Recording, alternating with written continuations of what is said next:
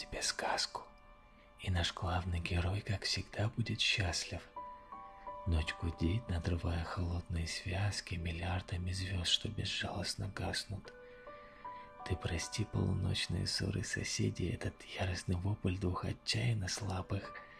Их бесчувственный крик абсолютно безвреден, механизмом безмерно вселенских масштабов. Если хочешь, мы можем смеяться и слушать чем-то детский веселый мотив колыбельных.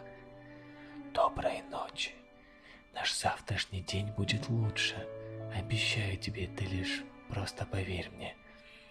Вот конец. Тишина словно в каждой частице необъятной, пустой, одинокой вселенной, где есть двое, которым сегодня не спится, где по-прежнему мы сумма двух переменных.